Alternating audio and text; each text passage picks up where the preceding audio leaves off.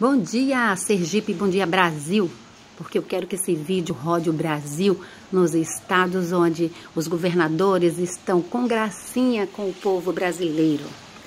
Foram eleitos para fazer o melhor para o povo, para fazer uma gestão boa, clara e transparente.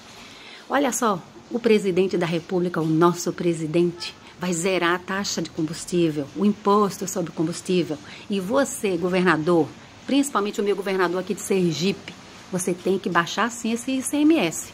Nós vamos pagar R$ 2,68 na gasolina. Que maravilha! Essa é a hora. Cadê os esquerdistas? Não estavam ano passado criticando é, o governador, a alta dos combustíveis? Bora, bote a cara aí na frente, bote a cara no vídeo e vamos fazer com que o seu governador e o meu governador tome vergonha, olhe para o povo e faça sua parte é a vez agora dos caminhoneiros. Cadê vocês, caminhoneiros? Por favor, vamos fazer rodar o Brasil, o Estado. Nós temos o poder. O poder emana do povo. É a nossa vez. Tem a internet, nós paramos o Brasil. Caminhoneiros, vocês pararam o Brasil. Quase geram caos. Essa é a hora. Vamos lá?